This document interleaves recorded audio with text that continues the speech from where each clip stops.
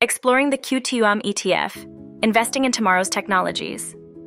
The QTUM ETF seeks to mirror the performance of the Bluestar Quantum Computing and Machine Learning Index.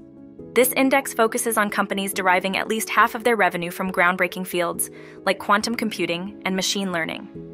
QTUM invests in firms revolutionizing technology through quantum research, machine learning hardware, and advanced semiconductor applications.